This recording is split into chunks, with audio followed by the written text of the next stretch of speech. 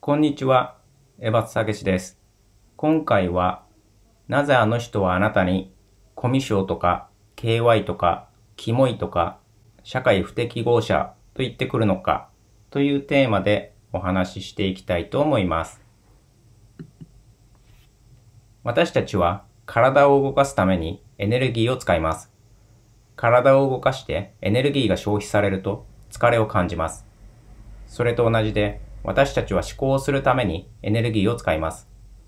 思考してエネルギーが消費されると疲れを感じます。思考するとは分かっていないことを分かった状態にしようとする行為です。例えば、あの人は私のことをどう思っているのだろうかと考えるのは、相手が自分をどう思っているかという分かっていないことを、あの人は私のことをこう思っているんだという分かった状態にしようとしているということです。私はどんな人間なのだろうか？と思考するのは、自分のことが分からないという状態から、自分のことは分かっているという状態にしようとする行為です。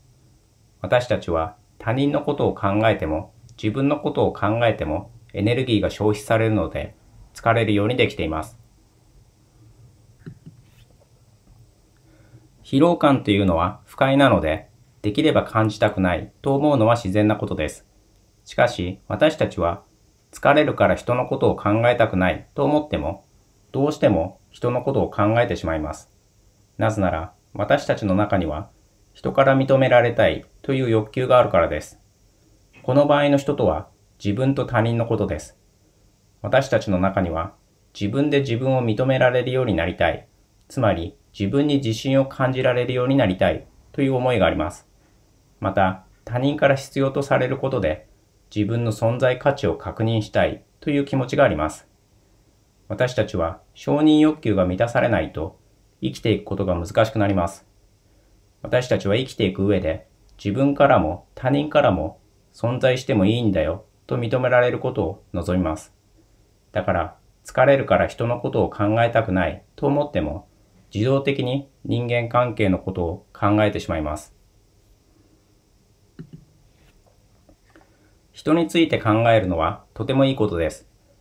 良好な人間関係を維持するためには自分はどういう人間なのか、相手はどういう人間なのかということを知る必要があります。人について考えることを放棄すると人間関係でのトラブルが多くなります。人のことを考えて疲れたくないという思いにとらわれると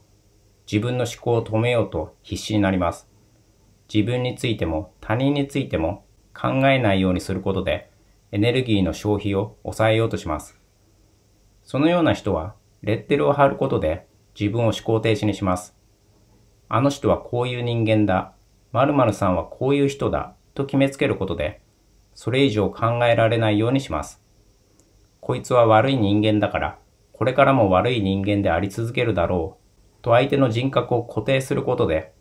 もうこいつについてはこれ以上考える必要はないということにします。こいつはバカだと決めつける人は、自分が楽をするために相手を未来永劫バカということにしているだけです。こいつはダメな人間だというレッテルを貼ると、相手がどんなことをしていてもダメなことをしているという捉え方をするようになります。なぜなら、相手は素晴らしいことをしているという捉え方をしてしまうと、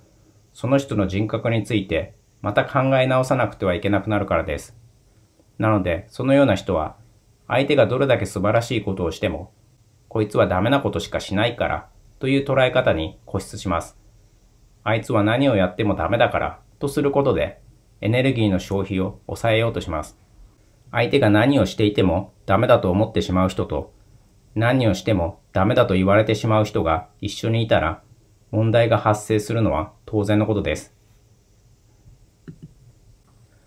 私たちは生きていくためにエネルギーを必要とします。自分の望みを実現するため、問題を解決するためにはエネルギーが必要です。だから、いざという時のためにエネルギーを蓄えておこ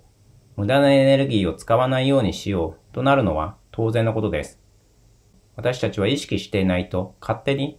この人はこういう人間だ。この人はこれからもこういう人間であり続けるだろうと決めつけることでエネルギーを節約しようとします。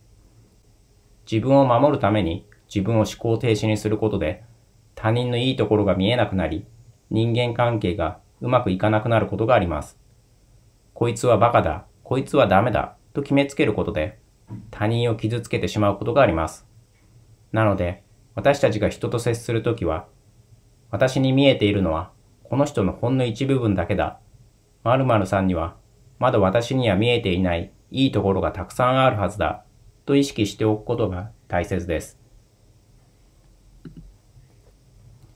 世の中には自分が決めつけをしていることに気づいていない人がたくさんいます。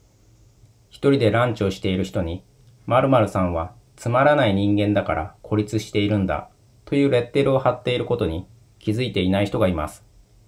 会話に入ってこない人をコミュ障だと決めつけたり、自分の話がすぐに理解されないというだけで、こいつはバカだと決めつけていることに気づいていない人が多くいます。みんなと違う生き方をしていると、社会不適合者と言われたり、みんなと違う意見を言うと、空気が読めないダメなやつだと批判されることがあります。世の中には自分が楽をするために相手にネガティブなレッテルを貼っているということに気づいていない人がたくさんいます。もしあなたがそのような人にバカとかダメだと言われても、その言葉を真に受けないようにしてほしいと思います。相手は自分が楽をするために思考停止になっていることに気づいていないだけです。相手があなたのダメなところばかりを指摘してくるのは、相手の思考が止まっているからです。相手があなたのいいところが見えないのは、相手が考えることをやめてしまったからです。なので、あなたにネガティブなレッテルを貼ってくる人がいても、自分をダメだと思う必要はありません。そんな時は、この人は思考が停止しているだけなんだ。この人は考えることを放棄したから、人のいいところが見えなくなっているんだ。と思うようにしましょう。そして、人のダメなところばかりが見えるのは、とても辛いことだと思います。だから、早く思考を再開して、決めつけ癖から解放されてほしいと願っています。と応援してあげましょう。今回も最後までご視聴していただきありがとうございます。もしこのチャンネルが役に立つと思ったら、いろいろな人に勧めてもらえると嬉しいです。チャンネル登録もお願いします。